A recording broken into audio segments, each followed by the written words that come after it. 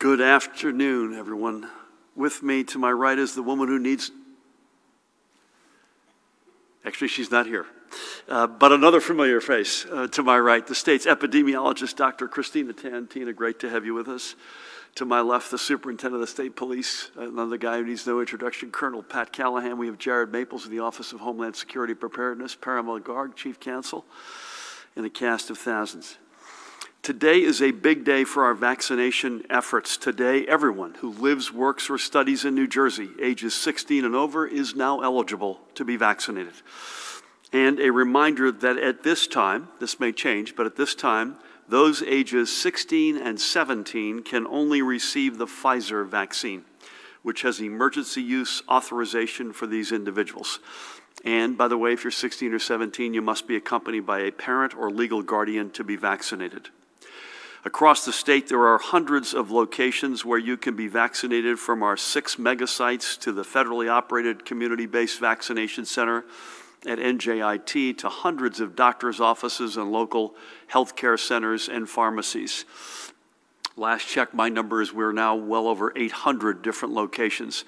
And as we have noted before, 98.7% of all New Jersey residents live within five miles of where they can get vaccinated. We encourage you to visit covid19.nj.gov slash finder to locate a vaccination center near you.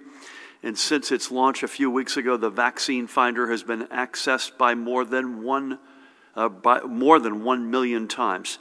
The Vaccine Finder updates multiple times an hour with information from multiple sites and lists appointment openings as they become known and available. Early Earlier this morning, the Vaccine Finder was showing 68 locations with availability, representing thousands of open appointments. Everyone who had registered online through the NJ vaccine scheduling system is now receiving their email notification about today's eligibility expansion. A total of 2.8 million email reminders were delivered as of noon. My family got several of them. More than 700,000 appointments have been booked directly through the NJVSS portal on our COVID 19 information hub. Now, we know the appointments listed as open this morning will likely fill up fast, and it may take a little time to find a slot as the vaccine supply continues uh, to not quite uh, stay up with the demand, especially in light of the continued pause in the administration of the Johnson & Johnson vaccine. But I assure you, your patience will pay off. Even with today's final expansion, millions of residents who had previously been made eligible have already received at least their first shots. We know that's now over 6 million shots in the arms, by the way. So we know that we are ready to keep pushing forward. With a total this morning of 2,507,736 fully vaccinated individuals, we are now well more than halfway to our initial goal of 4.7 million uh, folks by the end of June.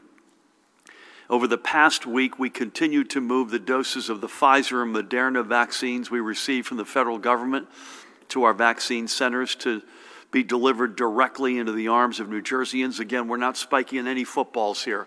We are on a journey, and there are many of you still trying to get your appointments, but we continue to rank among the very top in the nation in the four key metrics for evaluating our vaccination program. The percent of doses received getting into the arms of residents, the number of doses we are administering daily, the percentage of residents who have received at least a first dose, and the percentage of our total population who are now fully vaccinated. And as I've noted before, many of the states ahead of us, and there's no disrespect to them, don't have populations that in some cases can compare with uh, places like Bergen County or Essex County. So we are truly setting a national example here in New Jersey. I'll get to all the other numbers in a minute, but first I do want to acknowledge that this is National Volunteer Week. So, with that, I want to give a shout out en masse to all of the volunteer advocates from the Office of the Long Term Care Ombudsman who have been a lifeline throughout this crisis for residents in our nursing homes. These are selfless volunteers who, prior to the pandemic, visited assigned nursing homes for at least four hours every week, sitting and speaking with residents, listening to their concerns, and working with the nursing staff to resolve problems for the resident. Once the pandemic took hold, these essential volunteers continue to maintain their connections with residents and families, even though they may not have been able to physically be with them. And in particular, I want to highlight two of these volunteers who are making a difference in the lives of residents in our nursing homes. Uh, first up, on the left, Lakeisha Leach is an Air Force veteran and a volunteer with Jefferson Healthcare Center in Washington Township in Gloucester County. Over the past year, she has held weekly Zoom meetings with the residents she works with, keeping open vital lines of communication to ensure she knew what was happening at the facilities where she dedicated her time. For many residents, the weekly check ins with Lakeisha was a chance to hear from a friendly face, to talk about memories and hopes for the future. Another volunteer on the right, Laura Redmond, who is assigned to a Vista Care in Cherry Hill in Camden County. In the depth of winter, Laura personally crafted cards and notes for her residents and delivered them to the nursing home where they were gratefully and enthusiastically received by the residents she has gotten to know and advocate for. One resident in particular is a 92 year old Holocaust survivor with a deep love of reading. Knowing this, Laura delivers books to her friend and they chat on the phone about books and about life in weekly phone calls. Laura's and Lakeisha's passion and ingenuity are inspiring, and they are representative of the passion and ingenuity of every volunteer ombudsman. State long term care ombudsman Laurie Brewer is always looking for volunteers. And if you are interested in serving as a lifeline to the residents in our nursing homes, I encourage you to call uh, not Laurie necessarily directly, but call the Ombudsman's office. And that's the number 1 877 582 6995. That's 877 582 6995. Again, to Laurie Brewer and her entire team, staff, volunteers, Laura, Lakeisha, and many like them, thank you. And to every New Jersey and who has given their time over the past year to support their community, I also thank you. You've heard me say it many, many times. We are a family, a large, diverse, sometimes boisterous, but always close knit family. It has been the efforts of so many of you in the many ways you have volunteered who have made our family stronger and more resilient. So, to each and every one of you, I say thank you. Now, let's review the rest of today's numbers. First, I want to take a quick look at the latest from our schools. As the school week opens, we've got 186 districts, and you can read this in front of you, that are all in person. That's 170,000 students. Uh, that's moving in the right direction. Another 887,000 students uh, are on a hybrid schedule. Again, that's an increase of 77,000 since last week. The numbers on all remote is 69 with roughly 219,000 students. That's down a bunch of districts and more than 100,000 students from a week ago. And finally, 78,000 students are in 30 districts or schools which have a mix of all of the above. And this is a decrease from, of a couple from last week. I should note that pre K through grade two, students in Camden started on a hybrid schedule today, and I join their educators in welcoming them back. Switching to tests, we are reporting an additional 2,323 positive, either PCR or presumed positive antigen rapid test results. With these numbers, the statewide rate of transmission today is 0.92. The one day positivity is 8.18. That's based on 42,217 PCR tests recorded last Thursday. Our census in our hospitals last night 2,062, 1,948 of whom were confirmed COVID positive. Of that universe, 435 patients were in our ICUs, and 250 of them required a ventilator. Across the day yesterday, 208 live patients were discharged statewide. 233 patients were admitted in our hospitals. These are not confirmed, reported 24 in hospital deaths. And with the heaviest of hearts, today we must, must report an additional 18 deaths that are in fact confirmed to be from complications of COVID 19. We have lost more than 25,000 New Jerseyans over the past 13 months. That's a combination of 22,569 confirmed and 2,592 probable losses of life due to COVID. And to ensure that these blessed souls never just become a num number, let's take a minute as we do every day to honor the lives of three who we have lost recently. I want to begin today by remembering Newark's Kenneth Richardson. Kenneth was 72 years old. He was a Brick City native, born and raised, a graduate of Barringer High, High School, and a standout athlete who would be enshrined in the Newark Athletic Hall of Fame in the year 2010. He had a varied career starting in high school when he would make sandwiches at a catering company. He drove trailers. He worked for the city of Newark. But for the past nearly 16 years, he had been a field compliance inspector in the Grants Administration Department for the Schools Development Authority. Kenneth leaves behind his wife, Jerlene, with whom he had celebrated his 50th wedding anniversary this past February. He's also survived by two of his and Jerlene's children, Kenneth and Nicole, and I had the great honor of speaking with Jerlene, Kenneth, and Nicole last Wednesday. He was sadly predeceased by his daughter, Kim. He also leaves behind his grandkids, Kayla, Kyla, Kanaya, Damaya, Gregory, and Elijah, and a great granddaughter, Kennedy. And of course, he leaves behind the members of his SDA family who will remember him fondly. And I want to thank Joy Johnson and Manny De Silva for bringing Kenneth's life and loss to our attention. For everything across a lifetime of commitment to Newark and our state, we simply say thank you, Kenneth. May God bless and watch over you, the family you leave behind, and your many friends. Next, this one's tough as nails. We remember Piscataway's Billy Burke on the right and his father, Bill Burke of Hillsborough, on the left. They were both longtime Staten Islanders who had made Jersey their home over the past several years. Billy Burke was a retired member of the New York City Fire Department. It was a long, lifelong dream of him, of his, to be a firefighter. And he spent significant time as a member of the FDNY team that worked at the site of the World Trade Center following the September 11th attacks. Following his retirement from the department, he started his own trucking company, excuse me, William Joseph Trucking, which while keeping him busy also allowed him to spend more time with his family, to coach youth basketball and baseball, and attend dance recitals. Billy had only moved to Piscataway three years ago.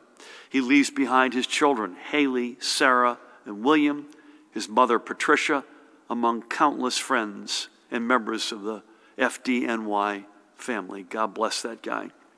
But three weeks after losing Billy, again, Billy's on the right, the Burke family lost its patriarch on the left, Bill, at the age of 83.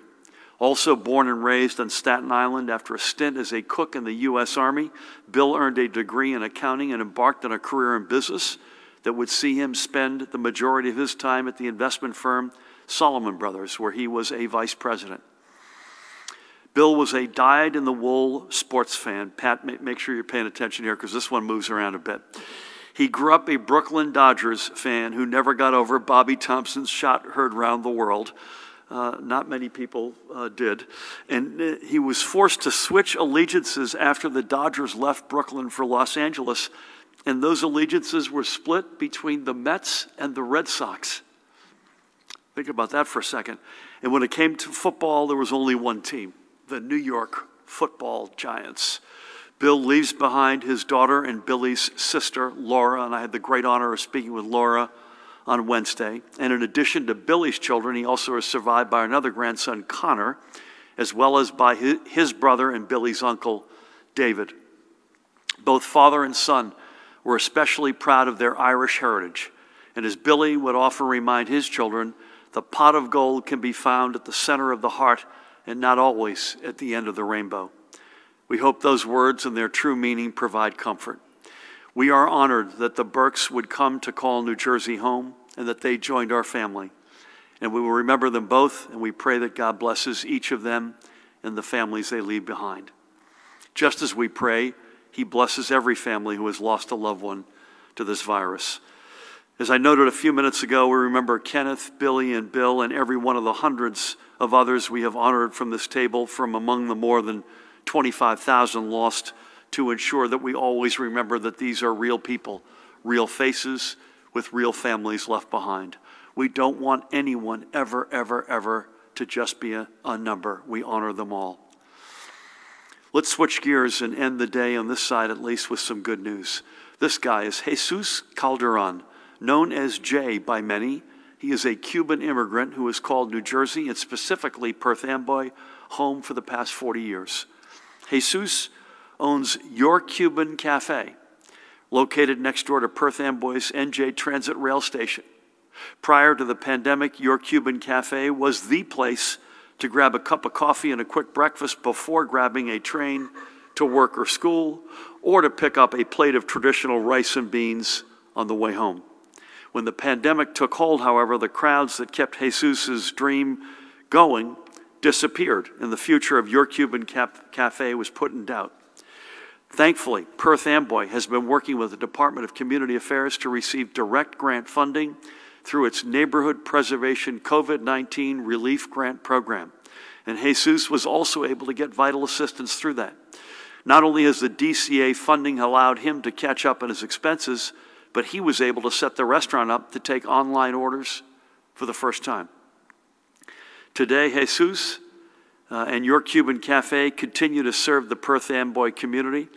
I had the opportunity to catch up with him last Wednesday, and I know he is ready to welcome back all, not just some, but all of his old regulars and then some. Check him out 225 Smith Street in Perth Amboy. It is worth checking him out, I promise you. Jesus's spirit and optimism for the future is something we all share. And with everyone who lives, works, or studies in New Jersey now eligible for vaccination, it is up to us to move us even more quickly to the stronger, fairer, and more resilient future that we know awaits us. So, again, start checking now for available appointments and get vaccinated as soon as you can. Together, we are going to continue to be a national leader. With that, it is now my pleasure to turn things over to the woman on my right, the state's epidemiologist stepping in for Health Commissioner Judy Persichilli. Please help me welcome Dr. Christina Tan. Thank you, Governor. Good afternoon. Throughout the pandemic, the department has been partnering with the New Jersey Poison Information Center to answer questions about the COVID 19 health emergency.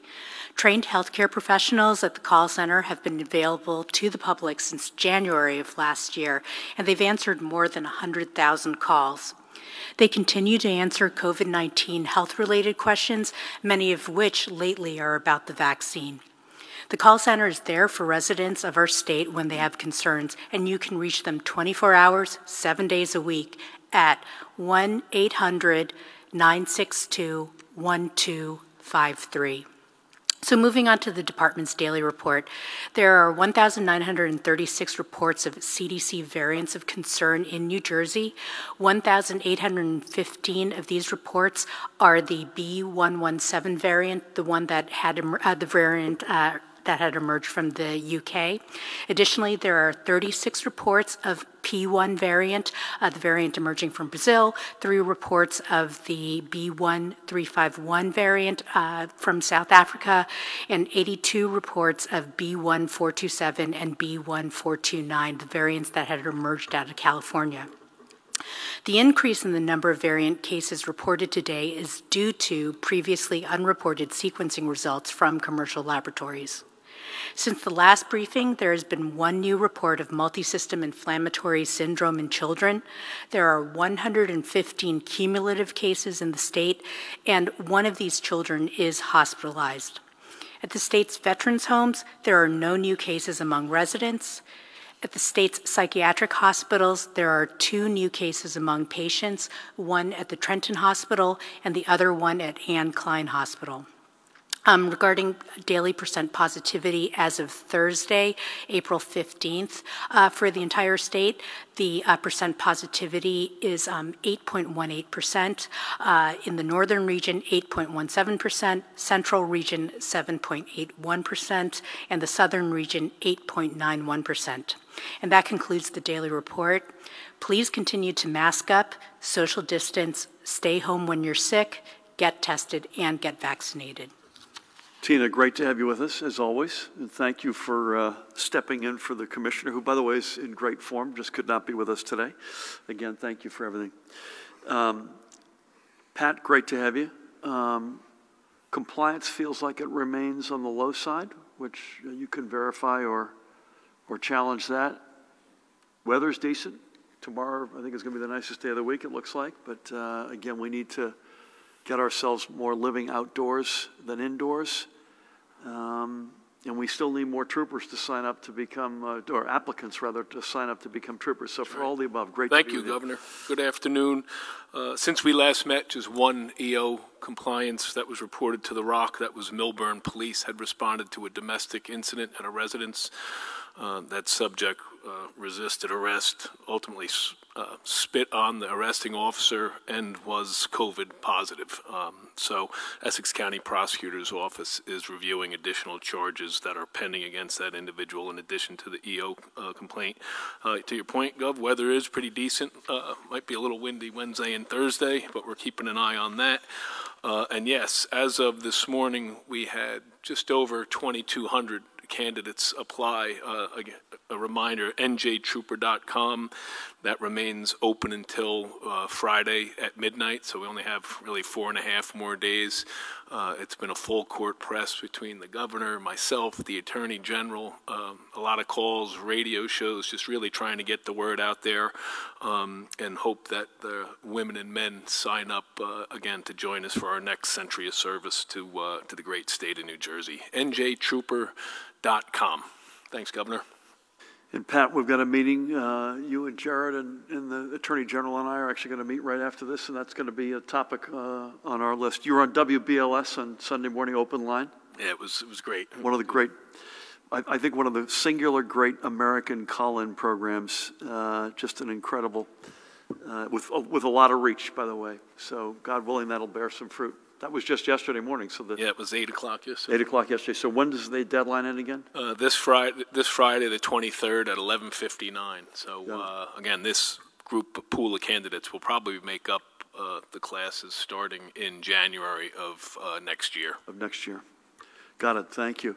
I think we'll start over here, Charlie, with you. Before we do, we're going to be, I think, on the regular rhythm this week. We'll be, um, we'll be uh, virtual tomorrow, uh, and we will be back here unless you hear otherwise at 1 o'clock on Wednesday, and to be determined how the balance of the week uh, looks, but we'll be out and about.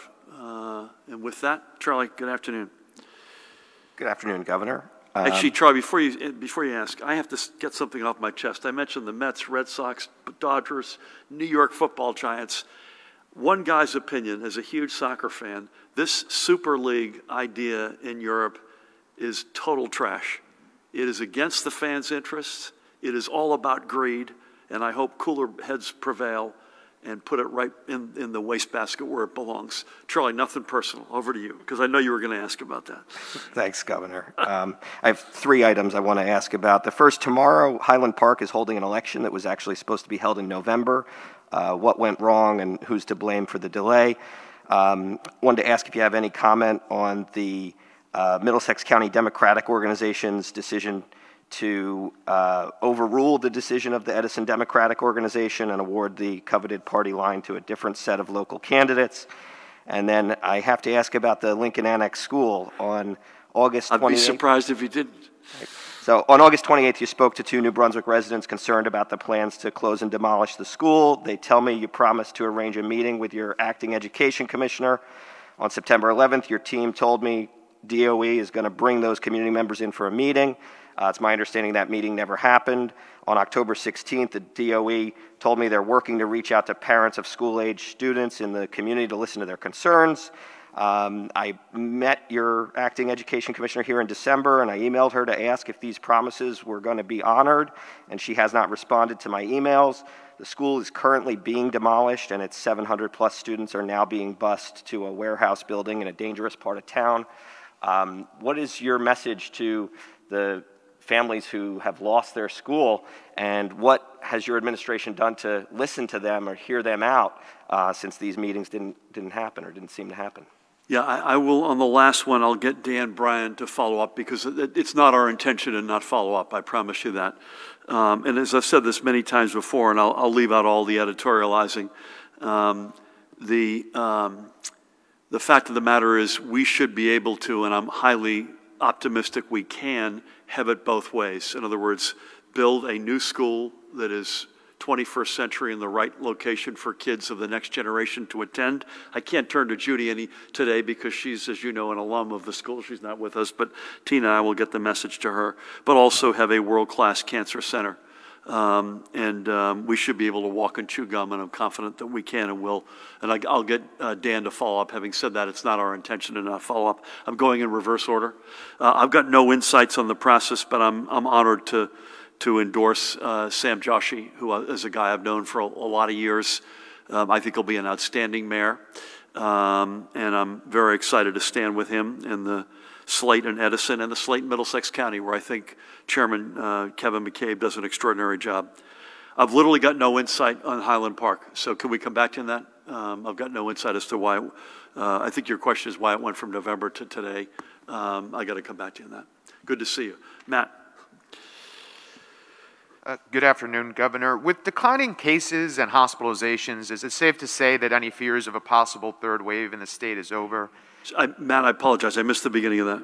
Well, with the declines of, of new cases and, and, hospitalizations, is it safe to say that any fears of a possible third wave in the yep. state are over? Uh, last week, you said you owed residents guidance on proms and graduation. Some of those events are already starting to happen, and at college uh, graduations are less than a month away. What sort of changes can people expect? And tomorrow will mark two weeks since more than two dozen undocumented immigrants and allies began their hunger strikes. Is your office planning to continue conversations with advocacy groups, excuse me, who say that the $40 million isn't enough? And is there any plans for talks with the legislature about bumping up that uh, amount of funding? Um, Matt, on the, I'll, I'll, answer and then maybe ask Tina to come back on the, the first one to weigh in. Uh, and she's far more qualified than I. I do like, it's, it's baby steps, but I do like, and I think we like the fact that numbers are slowly beginning to go in a better direction. The RT slipped a little bit today, uh, but uh, when I say a little bit, a little bit. Um, but if you look at hospitalizations over the past number of days, ICU, um, ventilator use, it's slowly but surely beginning to go in the right direction. For my taste, at least, it's too early to declare victory. And we still have this nagging, naggingly high positivity rate. On weekends, it's low double digits, and weekdays, it's high single digits. So, uh, but again, um, slowly but surely. And when you have over 6 million shots in the arms, over half the 4.7 million adults we want to get vaccinated get, uh, having been vaccinated, the weather getting a little bit better to allow us to live more of our lives outside, that's all cause for quiet, cautious optimism. Uh, guidance, I would hope soon. Um, I'm not sure it'll be this week, but we actually have a meeting on this very topic this afternoon.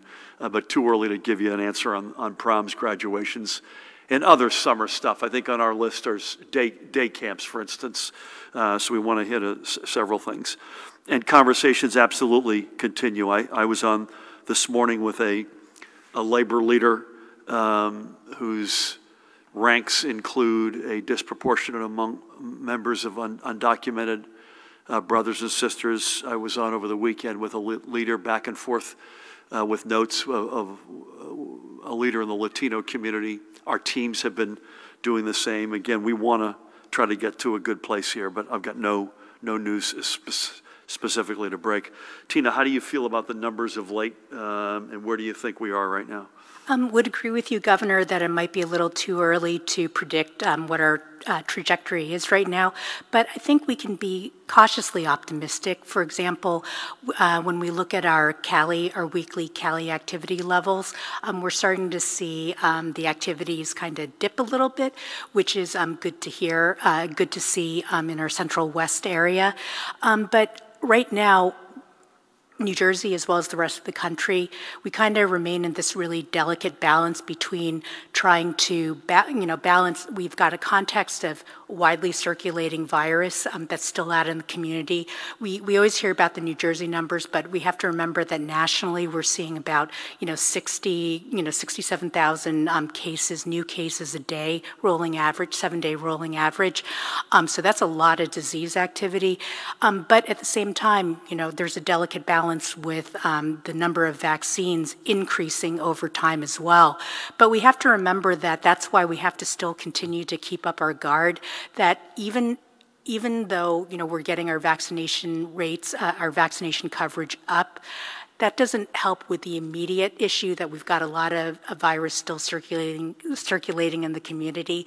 That you know whatever we do right now for vaccination, the great coverage that we're doing, that will have an, an impact a couple weeks out versus what we have to do now with our, you know, again, uh, sounding like a broken record, the, um, the social distancing, the masking, the washing your hands, the um, staying home when you're sick, um, just continuing those efforts until, you know, we reach um, a better spot with, um, uh, with all of our different metrics and with our vaccine coverage. You know, I also, Tina, saw an implication, at least from Tony Fauci yesterday. In fact, I think he was explicit about it, that he was hoping that J and J would come back online as of Friday uh, in some form.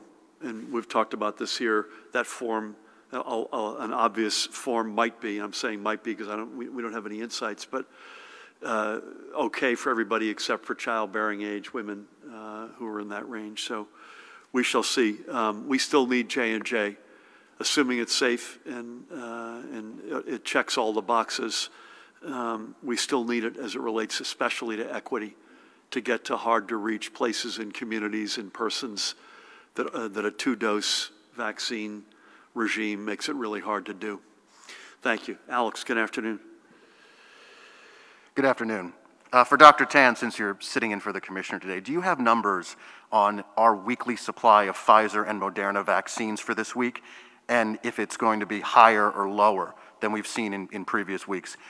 For you, Governor Murphy, uh, New York State has passed a law repealing blanket immunity for nursing homes and healthcare providers. You signed a, a, bill that was similar but not identical a year ago, extending immunity to healthcare professionals. Do you think the legislature should revisit the immunity issue, and the wording in the bill is a little bit vague. Could that immunity bill apply to nursing homes if they're bad actors like the ones you've talked about? Israel has removed its outdoor mask mandate. Are you considering something similar? Because it's been shown that there's very little outdoor transmission of coronavirus. Similarly, the CDC said that there's a 1 in 10,000 chance of getting COVID from a surface. Are these cleaning efforts that folks, including your office, are doing, like cleaning pens after a bill signing, hygiene theater at this point, and should they end? And lastly, for the Colonel, do you have any concerns or preparations for the aftermath of the Derek Chauvin verdict? And have you watched the Daunte Wright video, and what do you think of it? I've never heard the, the phrase hygiene theater. I have to just say there's a first for everything, and that was uh, the first. Um, no particular. Do you have the vote, the, the dose? Can we come back to on, on doses? They, have stayed, though, uh, Pfizer and Moderna have been steady um, either flat or modestly up, and they've stayed that way for a couple of months uh, at least. And so we'll, we'll come back. Dan, will you help me with that? Uh, no comment, um, not, not, no comment. I've got no insight on the immunity. I've got no insight in terms of any steps we might take, but I also, I'm, I'm not read, uh, read into the New York law. So if you can bear with us on that. I'm not sure we're going we're gonna have a whole lot to say. Israel's done an extraordinary job period. I mean, if you look at every metric, they've done an extraordinary job, particularly most recently in vaccinating. But we're not there yet on changing our mask mandates. Um, I hope we will be. Um, but it's, you know, first of all, it's a much warmer weather country than we are state right now. So they can live, I've been there a bunch of times. I can tell you right now, in mid to late April, they are outdoors in a big way and we're not quite there yet. Um, and we also have a rate of transmission that is much higher than in Israel right now, but I would hope we'd get there. I just can't tell you when. Surfaces, Tina, I'm going to continue to be in the category better to be safe than sorry. Um, we don't do it for theater, I promise you that. There is a mounting, a, a, a fair amount of mounting evidence that surfaces are not our challenge. You'll remember a year ago, we had uh, in the spring pitched discussions and debates about playgrounds in particular. Um, I think we're beyond the, the point where we think that's a prime source of infection, but I think we're still going to be better to be safe than sorry. You, you, you good on that, or I want to make sure? Yeah, you know, CDC has recently updated its um, cleaning and disinfection guidance. um, That, you know, it's absolutely correct that um, there is mounting evidence that, um, you know, surfaces, um, you know, fomites, um, uh, you know, aren't really the main mode of trans, uh, transmission. But that said, you still have to clean, you still have to follow routine uh, efforts, uh, particularly for um, high-touch areas. But, you know, some of the processes can be somewhat modified. And again, I think that's one that's going to get better, probably faster in terms of what our mindset looks like. Um, Pat, Alex had a question about the Chauvin um, trial in Minnesota, which feels like it's coming to a head. A- Any comments you want to have there? If, uh, we have, we've been in, uh, the last few weeks, constant communication. I think this is a case where we can't over-communicate, and that includes, uh, from the governor's office, urban city mayors. This morning, we're on three separate phone calls, law enforcement, county prosecutors. Uh, I've been in touch with the colonel of the Minnesota State Police, uh, U.S. Attorney's Office, FBI, all of our national, uh, intelligence partners, uh, certainly Director Maple's shop. So, um, like last summer, we uh, we just want to be prepared, uh, and we saw a lot of mass gatherings, uh, very peaceful ones, and we hope that that remains true. So we are we're certainly monitoring that, and uh, and we'll be watching uh, as that verdict comes out. And I have watched the Daunte Wright video. I was it was tragic. Um, I don't know if it was a training issue, but when that resulted in the loss of his life, um, just hard to watch and certainly a, a tragedy. Every, as we've said many times, every loss of life is a tragedy, period, full stop. Um, I think one of the things that, Pat, I think you and the Attorney General and uh, Jared, faith leaders, how many, how many members, Jared, of your faith council these days? 3,500 members that, that are in a regular rotation of, of conversations and, and the deepening of engagement between law enforcement and the communities they serve um, has, listen, I'm, you never take literally anything for granted. I know you guys don't, but that um, has served us well to date, and, and God willing, it will continue to. You're good, sir? I assume you are. You got any? You're still looking for the 20?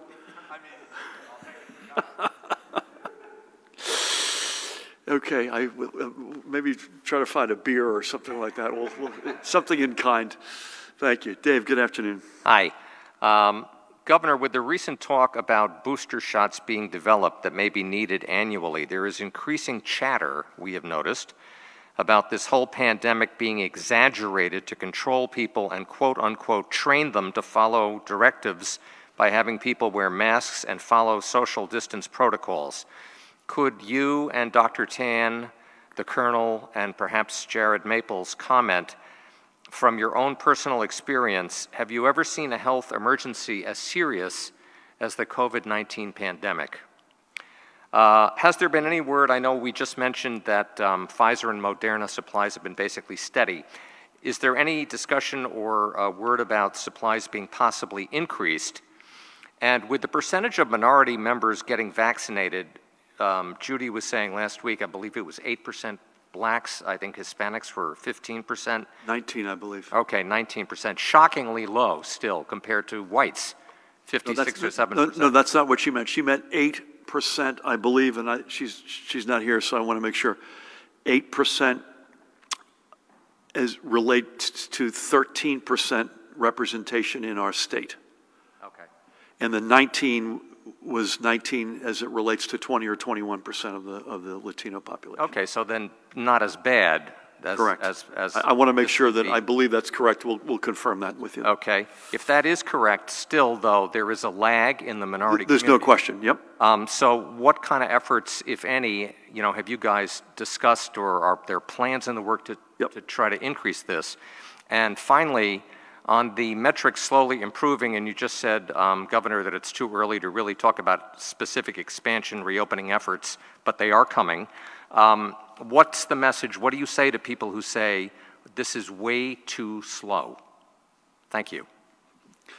Yeah, your first question and your, your, your last one, Dave, are sort of two sides of a different coin. I was tempted to say that we have been possessed by aliens uh, trying to control uh, the humans in New Jersey. Uh, uh but all kidding aside, um, I, I don't know. I don't know how anyone, and I'm not, this is not directed at you, I don't know how anyone could look at over 25,000 deaths in this state in 13 months and not conclude that this was an incredibly serious health crisis and look at the amount of deaths, Tina, that we even reported today. Another 18 confirmed losses of life today, and another couple of dozen in our hospitals unconfirmed. This is, by any measure, a once in a century at least, uh, if not bigger than that, whatever that would be, uh, health crisis and pandemic, and we're not out of the woods. And that gets to the question of the slowness. Um, I would love to be a less dense state that has warmer weather uh, more often in the year as it relates to a pandemic. I love how we're situated in normal times. Our density, our location are two of our great attributes when you're talking about uh, most of uh, what New Jersey's about away from a pandemic. But in a pandemic, our density, our proximity to New York City, it's not just the densest state in the nation, the densest region. We've been indoors for most of our lives the past, now going four to six months. Um, we just don't have the latitude that other states that don't have that density and, and, and don't have that weather reality have. Again, I love our location. I love our weather patterns for everything, frankly, except the pandemic. So, though, and the other thing is this we pride ourselves in not lurching. In other words, letting, you know, opening up a, a capacity and then going back. We haven't done it once. We came close on, uh, on indoor dining uh, leading up to the 4th of July, which sadly had to get postponed for health reasons until Labor Day, but we haven't done that once. And, I, and I'm, I think that should be a badge of honor for New Jersey, not just for us, but for all of us. That folks, proprietors, look at the, the, the, the and that's not to say there may be, not be people who are getting away with stuff when we're not looking, but enforcement is high.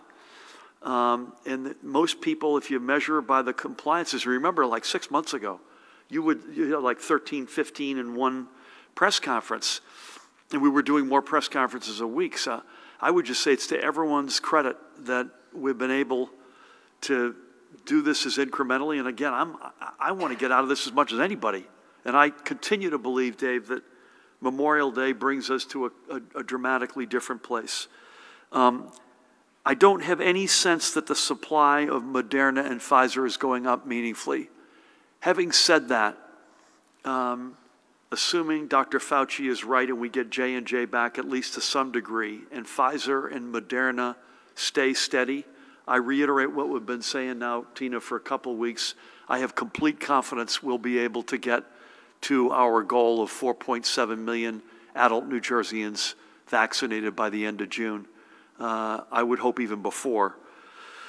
Um, in the black and brown community uh, is, is, an incredibly important question, and I'm glad you raised it. Again, J and J, it's not just the total supply that is impacted when one of these vaccines come off. It's that is the supply, that is the vaccine, pardon me, that allows us to pursue equity most aggressively. That's not to say we can't do it with Pfizer and Moderna, and obviously the facts show that we are doing it uh, with, with them, but not at the pace we would like. Remember, only 4%, and I think, Tina, that number is now even lower. That was as of the end of the week. Less than 4% of our total vaccines administered are J&J. So that, that's the good news. We haven't had, we haven't had an over-reliance on it. The, the challenging news is it's the single dose, it's the regular refrigeration. You point and shoot. It's the one Judy wants to put in the back of the mobile vans and just drive into deep into neighborhoods. So I think it's going to be a combination. And by the way, if it has to be Moderna, and Pfizer, um, we will figure it out. Uh, it will be more complicated, but I think it's going to be a combination in terms of equity. God willing, we'll get J and J back online. It'll be mobile. It'll be faith. Um, It'll be community centers, federally qualified healthcare centers. It'll be a combination of a lot of things. We're up over 800 locations. I mentioned this earlier today, and I mentioned that 98.7% of folks live within five miles of a vaccine site. We're up to 814 locations. Um, Our goal is to get sites so uh, uh, dispersed that you're within 15 minutes of a walk to a site, and we believe that's achievable. So for all the above, um, it, it remains a journey, and, uh, and we will do what it takes, even if we don't get J&J back online. Thank you. Nikita, good afternoon. Good afternoon, Governor. Uh, so Assemblyman Nicholas Chiaravalloti is no longer seeking reelection. I'm wondering if you have comment on the loss of someone who has been a legislative ally of yours, and also whether you share his frustration over party leaders in Hudson essentially designating legislators without uh, any sort of process. Uh, on a similar note, have you met uh, the Assemblyman's replacement, William Sampson? Uh, separately, uh, you are now unopposed in the primary. Congratulations. I'm wondering how much time you plan to spend campaigning between now and June 8th. And then finally, I wanted to see if you agreed with Secretary Way's referral of Lisa McCormick's petitions to law enforcement and whether or not you believe the state should actually, actively rather, investigate allegations of voter fraud like these. Um, let me start from the top. Nick and I had a very um, private and but yet um, soulful exchange this morning. He's a friend. I think he's been an outstanding assemblyman. But I have to say, Jimmy Davis is a friend, and I think he's been an outstanding mayor. And sometimes these things happen, and you've got two folks you have a high regard for, and you just wish and hope that they can find common ground, and they were not able to. Um, but I think he is, he's been an outstanding assemblyman. And I said to him, no matter what walks of life he or I may stumble through uh, in the years ahead, I hope that we can stay close. And I thank him for his service. Um, I have not met his designated uh, successor. I say successor, obviously he has to win some elections, but I've not yet met him, uh, and I look forward to. Listen, I think we'll take it uh, as we have from moment one. We're going to, you know, Frank Lautenberg had that great line there's only two ways to run scared or unopposed. Uh, whether we're opposed or not, we run scared. Um, and this is not a, a, a, venue for politics, but I will say that we, we run like we're 10 behind.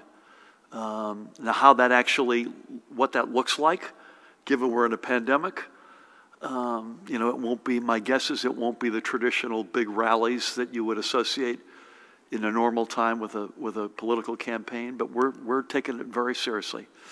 Um, real, real quick, only because I'm being incredibly gracious today, we're going to give you. And I appreciate it. I'm just. And you won't forget this moment ever. in terms of like uh, days or hours in a given week, I'm wondering how, no, how much you, time you plan to spend campaigning. No, no uh, designated. We're, we're good, um, Aswin. Um, this is Aswin's last week, by the way, with us. This is a. Uh, will you be with us on Wednesday?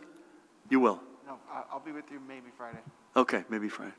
Um, thank you for your service and good luck in your next chapters. I don't have a, a, a budgeted time. Uh, what we've been doing is a lot of Zooms. Uh, and, you know, we basically, I, and I, I have to obviously be careful. I can't be in a government building doing anything political, so I end up pulling up stakes and go somewhere else, and that'll continue to be the case. A lot of it's virtual. I have no comment uh, on the specifics of, of, uh, of, Lisa McCormick's referral by the Secretary of State. Um, I'll leave that process um, uh, to its own resolution. Um, but I would say this, our, our voting laws are exactly what they are. They're laws. they have to be respected, including by us and anyone else who runs. They have to be taken seriously. They have to be adhered to. You can't get too close to any lines. Uh, and, uh, and, uh, and again, no comment on her specific situation, but the fact of the matter is we have to take this stuff seriously, and I'm glad we are. So, with that, Tina, I'm going to mask up, if it's okay with you. Quick, quick swig. By the way, while for you soccer fans, while I'm up, up here, UEFA has just thrown Man Manchester City, Real Madrid, and who else was in this thing? PSG out of the Champions League and have awarded it to, to Chelsea, Pat. So there, who the heck knows? Um, thank you all. Tina, thank you. Pat, thank you. NJTrooper.com. You have till the end of the week. Please, folks, uh, line up. Jared, Parimal, Dan, Aswin, everybody, keep doing what you're doing. Please get vaccinated. This vaccine finder, can we pull that slide up one more time, Dan? Can we pull the vaccine finder slide up one more time? Is that possible? That thing's been a godsend. There we go. That website's incredibly important and very valuable, and it's been accessed by tons of people, and it gets refreshed multiple times an hour. So it addresses the issue which we rightfully had early on, depending on when you logged on, uh, dictated whether or not, just by happenstance, by pure luck, whether or not you'd get an appointment. This uh, attempts to solve that riddle.